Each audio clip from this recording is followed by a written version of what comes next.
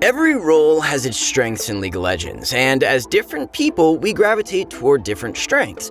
Maybe you want to go for clutch insecs as a jungler that mains Lee Sin, or sick outplays as Vayne, but we know that you guys really just want to emulate Faker or the solo Q star Dopa. Before you get to that point though, you have to learn a lot about the mid lane.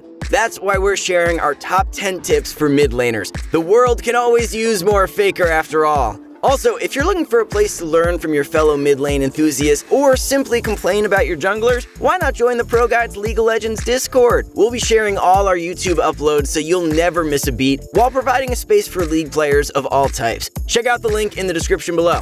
Before we get started, our question of the day is Who is your favorite mid laner? Yasuo fans will be reported. Let us know all your answers in the comments, and without further delay, let's get into it. When you think about roaming as a mid laner, you've typically been taught to push mid and run to top or bottom lane to help your team. The general idea here is correct. You need to push a lane and use your lane priority. But there are a lot of steps that you should actively think about before committing to a roam. We're going to list out all the possible steps to a perfect roam, and it will be up to you just how many of these steps you want to take to ensure your roaming success. Alas, here it is in four steps. Step 1. Push. You push out mid. This will either be through champion difference if you have a lot of wave clear or skill difference if you have lane pressure in the 1v1. Step 2. Establish vision control. Place a control ward in one of the mid lane brushes, preferably the side you plan on roaming to. You might also want to use your trinket ward on the same side. Step 3. Push. From here, you hover around the side with established vision and look to push the following minion wave. Again, this will either be through champion difference or skill difference. Step 4. Execute the roam. After pushing out the wave, look at the next minion wave. You might be wondering why you have to look at the next minion wave, but it's pretty simple. If you fully commit to a roam and the minion wave has already left your base, the enemy mid laner will have time to shove the wave and take a plate or two. If the minion wave hasn't left the base yet, you might have just enough time to return to lane and protect your tower. That was a lot, so here's a couple of tips to get the main points across. Steps can often be skipped depending on the game state. Some key factors that can change your play include the enemy team having a weak farming jungler, or the enemy mid laner not having the tools to shove your lane back, such as Kassadin or Kayle. Don't be afraid to stop your roam. Sometimes stepping off the map and going into Fog of War will be enough to relieve pressure for your top or bot lane. Instead, you can look to grab the honey fruit plant or help your jungler secure a crab or enemy camp. Keep in mind that the point of these steps is to minimize how much you lose and to maximize safety since roaming is often about considering a 50% success rate on any given play. We're going to list a couple of decent blind picks, but won't get quite into the minutia of what makes them good individually. If you do want to get into the minutia of these champions, be sure to hit that subscribe button because we're always talking about the best picks and how to keep up with the current meta. These blind picks do have effective counter picks, but they're generally solid all-around picks if you need to guarantee a safer laning phase. There are a lot of different ways that you can counter picks, and we will provide a list of counter picks for the aforementioned blind pick champions. Be sure to keep in mind that it often comes down to experimentation and experience to understand if something truly has a slight edge over another pick. For Cassiopeia, Glacial Veigar often serves as a great counter pick. LeBlanc has annoying lane pressure, but Kassadin actually comes in clutch once the game goes later. Orianna is great at neutralizing matchups, but Diana is a great answer with her all-in capability. Ryze is as annoying of a machine gun as ever, but consider Xerath with his significant range advantage. Syndra feels like the queen of lane pressure, but Ekko has the wave clear and all-in to be a great pick. Zoe's projectiles are the worst, why not say no with Yasuo's Wind Wall?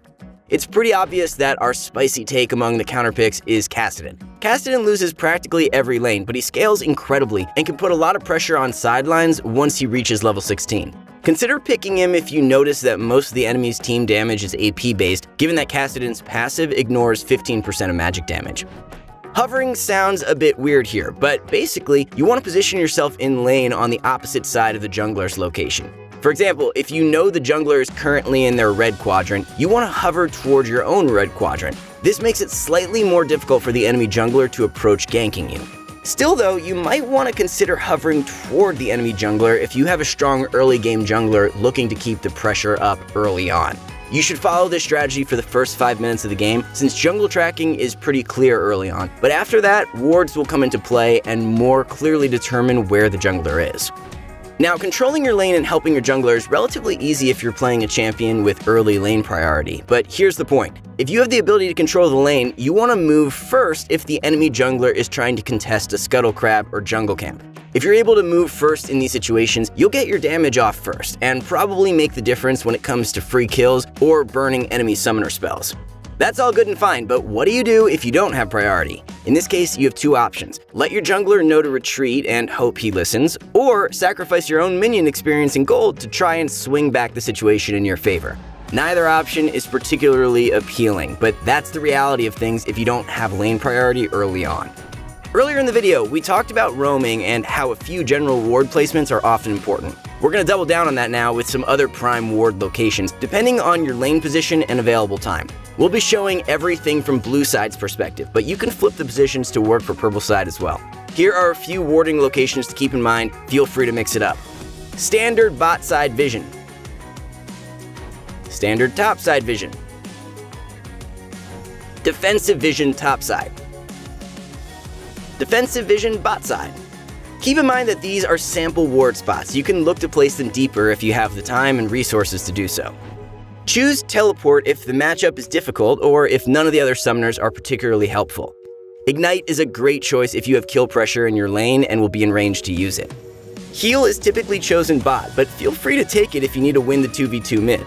If you're looking for a defensive summoner for constant 1v1 fights, look no further than Barrier. If the enemy team has a lot of crucial crowd control, Cleanse is a great choice to narrow their routes of play.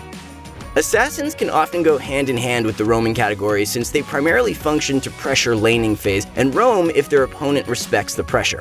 If not though, Assassins can look to swing the game by all-inning the opposing mid laner. Examples of these champions include Zed and Talon.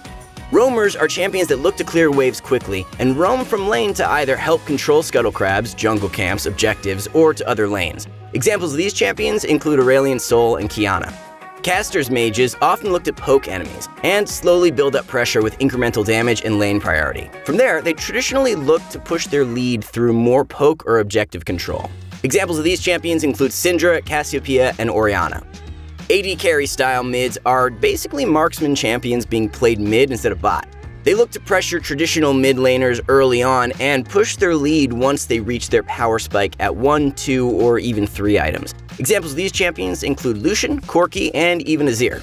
Scaling mids often try to minimize just how much they lose early game, while gathering as many resources as they can. They often try to transition into the late game at level 16 with their 3 item power spike. These champions include Kassadin, Kayle, and everyone's favorite Hemomancer, Vladimir. Side laning as a mid laner often happens when bot lane moves mid to better control objectives between 14 and 19 minutes. Some champions better fit the side laning role than others, but it's a natural transition regardless. As a control mage, you should look to push a side lane toward equilibrium in order to rotate and help your team. Or in the case that your jungler is in the area, you can push the minion wave past the halfway point and rotate to establish even more control. Halfway point. past halfway point. As a roamer, you should look to push the wave past the halfway point and either roam mid or roam to the player that receives your wave. As an assassin, you typically want to push your wave and escort it until you know where the enemy jungler is. Once you know where they are, you can look to all in the person matching your minion wave, creating an opportunity for your team. As an AD carry style mid laner, you generally want to push the wave and pressure the tower. This assumes that you have proper vision. Be sure to establish that beforehand with your team. Traditionally, the rule of thumb is to push out waves and establish vision, but where do you go from there? If your team succeeds more grouped around objectives, you should look to push out and regroup with your team to force a play. On the other hand, if you notice your champion does really well against the champion you're side laning against, feel free to push the pedal to the metal and pressure the side lane with split pushing. If the enemy mid laner is roaming, it can be confusing on when you should and shouldn't be following. That's why we're here for you. When you're choosing between following them or not, consider these variables. Is your teammate dead or going to die already? Do you have vision of the champion that's roaming? Will you die if the roamer decides to try and ambush you from Fog of War? Do you get more value out of clearing waves and hitting tower instead? All of these are very important when considering whether you should follow a roam or not. In solo queue, pushing mid and sacrificing the lane being roamed on can often be profitable. This is a more selfish play, but there's no guarantee that following the roam will benefit you in any way. Now, if you stay mid, you have guaranteed minion gold and experience. In solo queue, minimizing any level of variance can be crucial to consistent performance. That concludes our video on all the tips you'll need to start carrying from mid lane. Thank you so much to everyone for watching. If you guys want more content to help you improve, check out ProGuides.com where we've teamed up with pro players to create guides designed to take your game to the next level. Also, keep an eye out on our YouTube channel where we're constantly uploading new content just like this. Good luck out there on the Rift, everyone, and we'll see y'all next time.